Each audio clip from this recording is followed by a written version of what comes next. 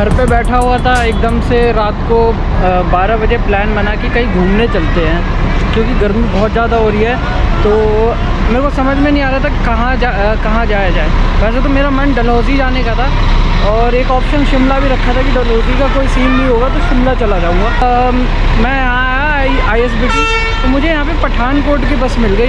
पठानकोट से आपको डलहौजी की बस मिल जाएगी इजीली पठानकोट की जो टिकट है, छः सौ पच्चीस रुपये की मिली है यहाँ से। बाकी वहाँ से डलहौजी की बस मिल जाएगी। डायरेक्ट बस मिल सकती थी, लेकिन विदाउट प्लान मैं जा रहा हूँ तो कहाँ से मिलेगी? बाकी अभी कश्मीरी गेट बस स्टैंड पे हूँ और रात के एक सवा एक हो रहे हैं। और ये हमारी जम्मू वाली बस।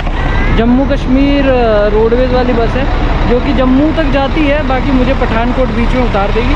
और रात को, रात के एक बज रहे हैं तो 10-11 बजे तक पहुँच जाएगी पठानकोट। फिर उसके बाद हम लेंगे वहाँ से डलहौजी की बस। तो भी चलो, बस में चलते हैं और बैठते हैं थोड़ा, क्योंकि सामान पीछे ले रखा है, बहुत भारी हो रखा है।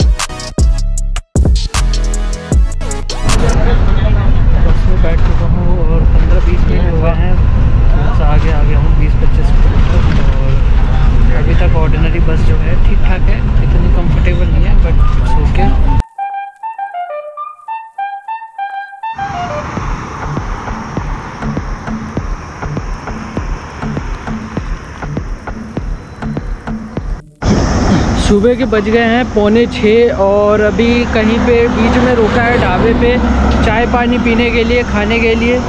और नींद से हालत ख़राब थी तो रात में कोई वीडियो नहीं बनाई है। और अभी रोड पे हैं यहाँ पे। यार। देखो यहाँ से कितना टाइम लगता है। मेरे ख्याल से 10 बजे के आसपास पहुँचेगा पठानकोट। उसके बाद वहाँ से लेंगे डलहौजी की बस। रात में कोई रिकॉर्ड नहीं किया अंधेरे में। नींद भी आ रही थी तगड़ी, इसलिए। और यहाँ पे ये ढाबा है। वैसे पर्सनली मैं अवॉइड करता हूँ ऐसे ढाबे वगैरह पे खाना ना पता नहीं क्यों मतलब पहले मेरा एक दो बार एक्सपीरियंस अच्छा नहीं रहा है तो मैं अवॉइड करता हूँ। बाकी यार देखो ऐसा मतलब मेरा एक्सपीरियंस ख़राब था तो इसका मतलब ये नहीं है कि सबका ख़राब ही हो। आप लोग खा पी सकते हो कोई कोई ऐसा वो नहीं है।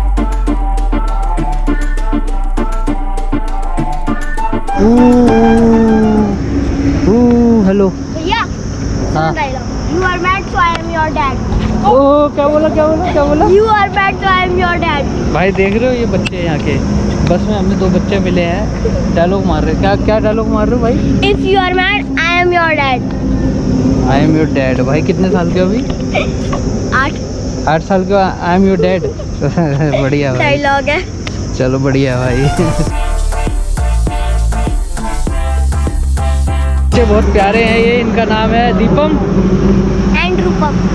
दीपम एंड रूपम। बहुत प्यारे बच्चे हैं बहुत मज़ाक कर रहे हैं। रात से ही मतलब साथ में बैठे हैं। इशारे करना वो वाले? ये भाई डायलॉग मार रहे हैं और ये दीपम। ये ये क्या ये कट कैसे लग गया भाई? ये ल, ये कटिंग है कटिंग का स्टाइल है। कटिंग है? स्टाइल अरे ये कटिंग है क्या? कटिंग है। अच्छा अच्छा अच्छा। इस साइड भी है। अच्छा अच्छा तो ये भी इधर भी है? अरे भाई भाई मेरे को लगा रात को जा रहे थे.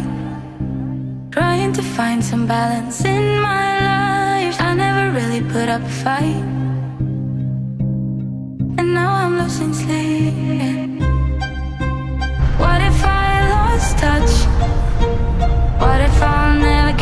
तो आँखों में नींद लिए और शरीर पे थकावट लिए हुए हम निकल जाते हैं दोबारा से पठानकोट की तरफ़। और सुबह की जो ठंडी ठंडी हवा है वो खिड़की खोल के जो चेहरे पे लग रही थी उसका एहसास ही कुछ अलग था। और बच्चे साइड में बैठे हुए थे वो भी हँसी मज़ाक कर रहे थे। तो हम इसके बाद सीधा पहुँच जाते हैं पठानकोट। जो दिल्ली से बस आई थी उन्होंने तो उतार दिया लेकिन उनके जो कंडक्टर थे ना यार देखो उनको ना बोलने की तमीज़ नहीं थी। मतलब हर किसी से इतनी बदतमीज़ी से बात कर रहे थे ना।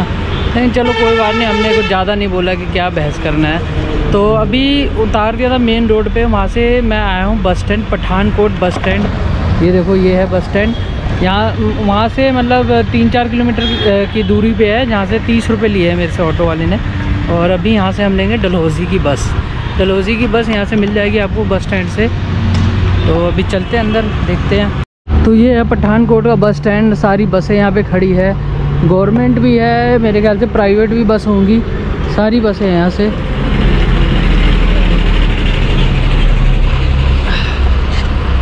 और पठानकोट में बहुत गर्मी है यार। मतलब ग्रीनरी तो है, लेकिन गर्मी बहुत ज़्यादा है। दिल्ली जितनी नहीं है, लेकिन हाँ गर्मी अच्छी खासी है भाई। तो पठानकोट से डलहौजी की बस की टिकट ले ली है मैंने, ये बस की टिकट है। और ये टिकट मेरे को पड़ी है एक सौ की। तो दिल्ली से पठानकोट छः सौ पच्चीस, तीस रुपये ऑटो के यहाँ तक के आने के, और एक सौ चालीस के। कितने हो गए जोड़ लेना, बाकी बता दिया 125 की है। डलहौजी बता रहे तीन घंटे में पहुँच जाएगी। और ये वाली बस है।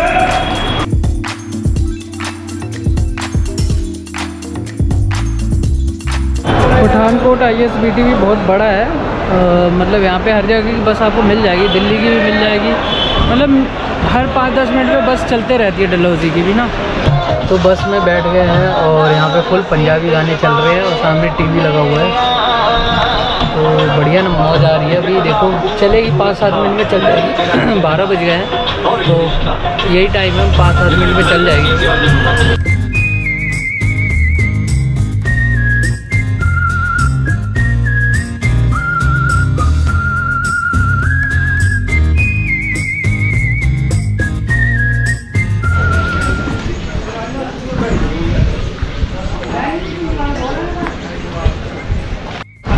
अभी रास्ते में बस रुकी हुई है कुछ खाने पीने के लिए और डलहौजी रोड पे है और जगह का नाम है दुनीरा। दुनीरा में रुकी हुई है, दस मिनट के लिए कुछ खा पी रहे हैं रिफ़्रेशमेंट ले रहे हैं। और यहाँ से 20-25 किलोमीटर और है मेरे घर से डलहौजी। फिर भी यार गर्मी बहुत तेज़ है, इतनी पास पहुँच के फिर भी यार। तो पता नहीं देखो डलहौजी में कैसा मौसम होता है वो तो पता चलेगा ऊपर जाके।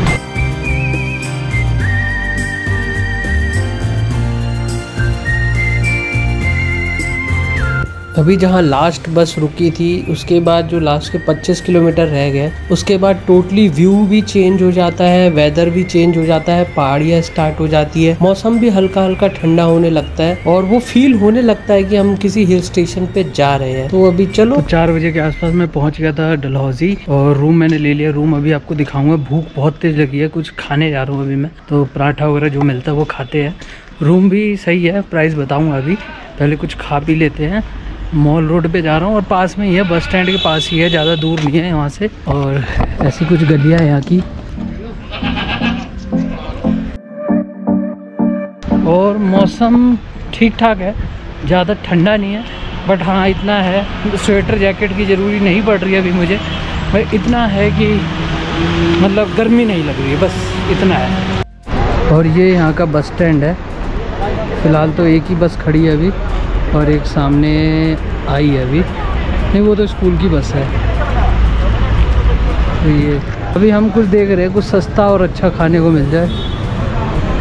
देखते हैं कुछ मिलता है या नहीं। और यहाँ तो यार कुछ खाने पीने को दिख नहीं रहा इतना खास। मतलब अगर मैं लास्ट टाइम मनाली गया था, उससे कंपेयर करूँ तो मनाली ऊपर ही है। बट ये भी ठीक ही है, जो है। अगर मैं इधर की साइड जा रहा था, इधर बता रहे, कुछ नहीं है। मुझे इधर जाना है।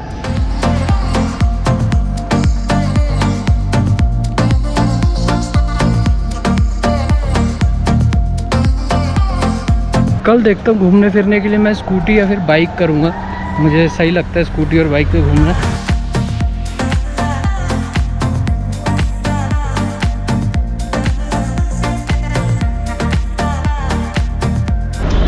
तो बता रहे हैं ऊपर जाके माल रोड दो किलोमीटर आगे।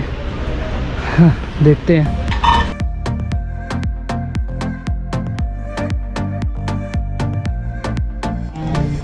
ये नान मंगाया है और नान के साथ सब्ज़ी है, छोले की और ये चटनी। पचास रुपए का नान है, बहुत हैवी है। खा के पेट भर जाएगा। और भूख भी लगी मुझे।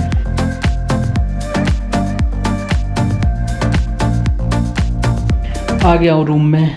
और ये है अपना रूम ये बेड है, ये कंबल है। हालाँकि इसकी कोई ज़रूरी मुझे लग नहीं रही है। और ये अपना रूम है और यहाँ से व्यू व्यू के नाम पे होटल है सारे। अब कल देखते हैं, आगे कुछ मिल जाएगा। मैं वाटरफॉल ढूंढ रहा हूँ, ढूंढूँगा। मेरे को वाटरफॉल बहुत अच्छा लगता है। और मौसम की बात करूँ? तो वहाँ के मौसम के बारे में बताऊँ तो मौसम यार, देखो डोंट कवर दी जज बाय बुक अगले दिन बहुत ही ठंडा मौसम हो गया था चिल्ड मौसम हो गया था। स्वेटर जैकेट वगैरह रख के ले जाना। दिल्ली से आप जा रहे हो डलहौजी तो आप ऐसा भी कर सकते हो ट्रेन ले सकते हो, पठानकोट तक। वहाँ से फिर बस मिल जाती है ईजिली आपको डलहौजी जाने के लिए। या फिर डायरेक्ट बस भी मिल जाएगी आपको, अगर किसी किसी को होता है कि बस में अच्छा नहीं लगता है तो डायरेक्ट बस भी आप गोवा बीबो या फिर आप कहीं से भी आप कर सकते हो। कोई ऑप्शन ना बचे तो कश्मीरी गेट जाओ सीधे। वहाँ पता करो डलहौजी की बस मिल रही है या नहीं मिल रही नहीं तो पठानकोट तक बस से जाओ। फिर वहाँ से डलहौजी की बस हर पंद्रह पंद्रह मिनट में चलती है I S B T Pathankot से तो वहाँ से आप ले सकते हो। बाकी मेरा जो खर्चा आया था अप्रॉक्सीमेटली साढ़े आठ सौ, नौ सौ रुपये में मैं पहुँच गया था डलहौजी, और अच्छी जगह है डलहौजी। इसकी वीडियोस आती रहेगी तो अभी चैनल को सब्सक्राइब करना है। डलहौजी की वीडियोस भी आते रहेगी, मनाली की भी डाली आप जाके देख लेना। आते रहेगी चैनल को सब्सक्राइब करके नोटिफिकेशन पे ऑल दबा देना। है और वीडियो अच्छी लगी हो तो लाइक करो, और फैमिली फ्रेंड्स के साथ शेयर करो, और प्लान बनाओ यहाँ का। हनीमून के लिए अच्छी जगह है डलहौजी। चलो मिलते हैं नेक्स्ट वीडियो में. Till the time bye love you और love you so much bye